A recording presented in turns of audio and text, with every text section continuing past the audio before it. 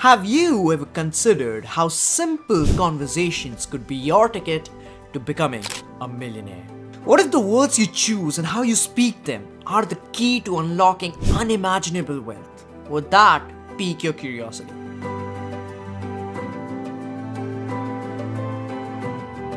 Today, we are diving into the 5 art of conversation secrets of the ultra rich. Number 1, the art of persuasion. Alright, guys, let's kick things off with the number 1 secret the art of persuasion. Now, this is a big one. Millionaires, you see, have got this skill down to perfection.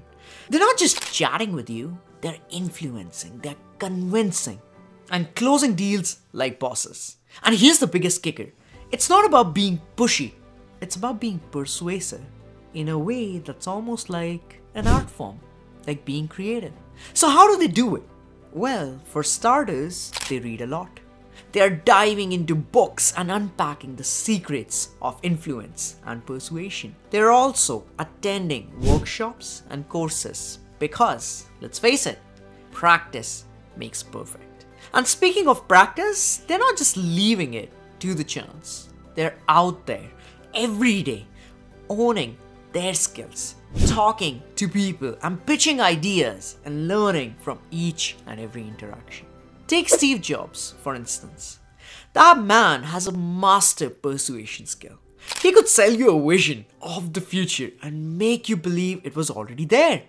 And then there's Elon Musk. Despite his quirks, when he talks about his visions for SpaceX or Tesla, people listen and get on board. So, what's the takeaway?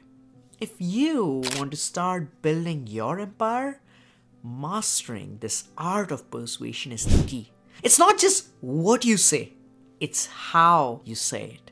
So, start practicing, start influencing, and who knows, you might just find yourself closing that life changing deal sooner than you think. Number two, listen more than you speak. Now, you might find this one a bit surprising, but it's all about listening more than speaking. You see, when it comes to effective communication, sometimes it's not about how much you talk, but how well you listen. And let me tell you, the elite, the millionaires, they've got this down to the art. So, what's the big deal about listening, you ask? Well, it's pretty simple. By really tuning in to what others are trying to say, you're not just hearing their words, you're gaining insights, understanding their needs, figuring out how to make your conversation more impactful. It's like having a superpower where you understand people better than they understand themselves. Take someone like Larry King, the legendary talk show host. He was a master listener. His interviews were gold because he genuinely listened to his guests. Or consider Richard Branson.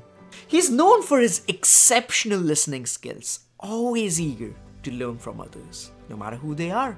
So, here's the thing if you want to really connect with people and make your mark, start by listening more. By actively listening, you're not just being polite, you're gathering the intel you need to make your next move more effective. So give it a try, and you might be amazed at how much better your interactions become. Number three, storytelling is the golden key. So, this one's a real game changer. And when I say storytelling, I don't mean chatting about fairy tales or the bedtime stories, no. We are talking about the kind of narratives that inspire, motivate, and resonate deeply within people. It's the kind that sticks in your mind long after the conversation's ended.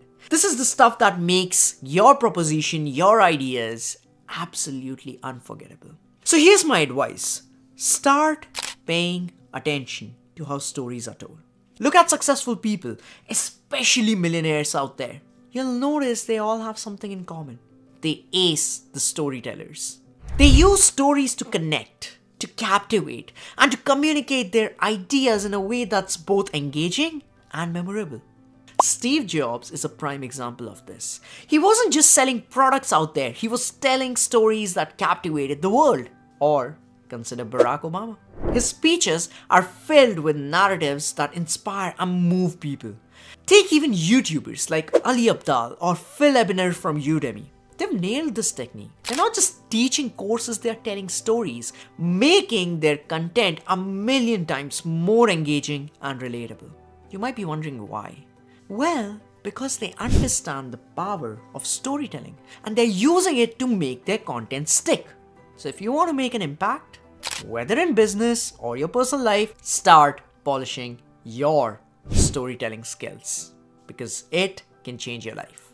Watch how the pros do it, learn from them, and then start weaving your own stories. Now, if you're liking what you're hearing, then make sure to hit that subscribe button. Also, I have dissected each one of these mindsets in more detail, so don't forget to check out my other videos. Number 4. Clarity over jargon. Now, we often think that using fancy, complicated words makes us sound more intelligent, right? But here's the thing millionaires tend to ditch this whole jargon. They keep things clear and straightforward. And you might be wondering why. Well, the answer is pretty simple. You see, the real skill lies in making complex ideas accessible and understandable to everyone. Think about it. Your ideas should really be something that a high flying CEO can grasp, but also something that a student can understand and relate to. You can kind of imagine it as a inclusivity in your communication that helps build these broader network and connections. So my golden advice to you, always keep it simple. Seriously, simplicity is the key. This Clear communication will be like a bridge that connects you with others, no matter what their background may be. Take Elon Musk, for instance. He explains these complex space technology in a way that most people can grasp. Or Warren Buffett. He's known for his straightforward approach, no nonsense approach to financial advice. Even Mark Zuckerberg. When announcing new Facebook features, he uses language that's easy for all of his billion of users to understand. So, the bottom line is whether you're in a boardroom or a classroom, making your ideas clear and jargon free is what will make you stand out of the crowd. So, next time you're about to explain something, ask yourself is this the simplest way I can say this? Number five, emotional intelligence in conversation.